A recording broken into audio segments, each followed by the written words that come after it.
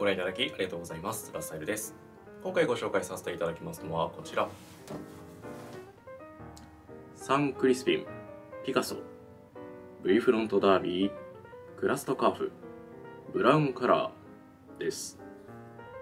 今年で30周年を迎える東欧オーストリアのサンクリスピンは靴好きの中では熱烈なファンの多いブランドです。中世ローマ時代に双子の兄弟クリスピヌスとクリスピニアヌスはキリスト教徒としてフランスにて革細工を学び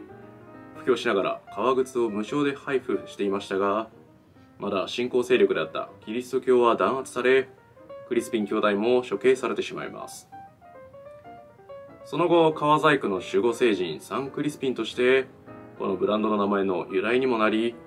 命日と言われる10月25日はサンクリスピンデーとして制定されています。オーストリアの首都ウィーンに本社を置くサンクリスピンはルーマニアの工房にて少数精で靴作りを行っています。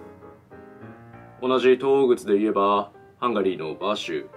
ドイツのハインリヒ・ディンケラッカーなどが挙がりますがイギリスグッズフランスイタリアグッズともまた違ったオーラが魅力ですね。熟練のマイスターがハンドメイドにこだわって制作し年間でも作れる総数が限られているのは先ほど名前を挙げた3社ともに言えます。特に十数人の職人の手によって作られるサンクリスピンの靴は既製品で月に80足ほどの生産と非常に少ないことでも有名です。こちらは一見しただけでは素朴なプレーントゥーシューズだけで終わってしまうかもしれませんが随所にサンクリスピンならではの作り込みが見受けられます。こちらの V フロントダービーはサンクリスピンでも代表的なデザインとなっております。フォルムはセミスクエアのノーズにチゼルトウと先に向けて斜めに落ちています。かかとはすっきりとした継ぎ目のないシームレスヒールで仕上げられていますがサンクリスピンのそれは履くと驚かれるかと思います。ジョノブの上級グレードのプレステージラインにも採用されるシームレスヒールですがかかとの食いつきが甘く感じる方が多いです。サンクリスピンはぐっと通り込み中の芯材にロングカウンターを採用することによって非常に優れたホールド感を実現しています。履き心地に関するこだわりは他にもございます。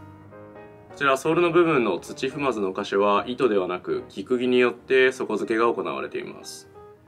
これによって自由度の高い糸の入れは無茶な細さのウエストを作ることができます。土踏まずの突き上げるようなアーチサポートを実現し履き疲れのしにくい一足となっています。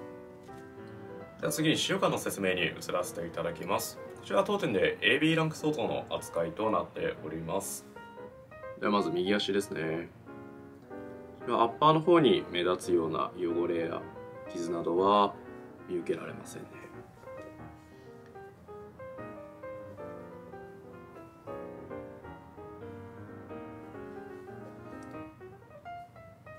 ところどころブラウンの色ムラが少し出てきているかなと思います。じゃあソックシートにサイズ調整を入れられた後なのか黒く変色した箇所がまばらにございます。ソールはレーザーソールのヒドゥンチャンネルですね。次に左足ですね。左足の方もトゥーや羽の箇所などをまばらに濃くなっているところが見受けられるだけかなと思います。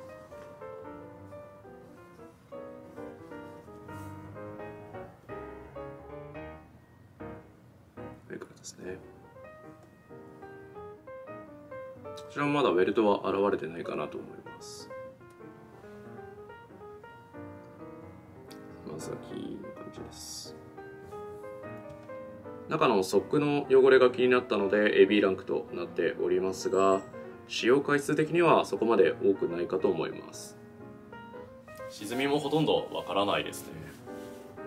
では次にサイズ感の説明に移らせていただきます。こちらサイズ表記の方が 7F となっております。エドワードグリーン202ラストの方で UK7E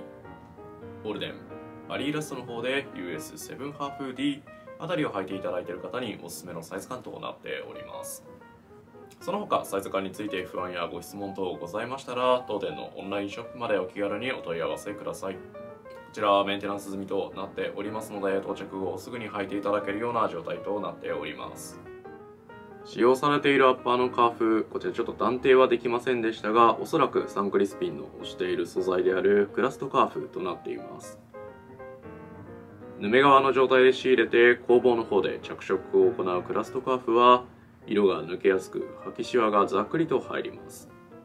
ただ逆にクリームを吸いやすくメンテナンスが好きな方であれば育てがいのあるレザーだと思います。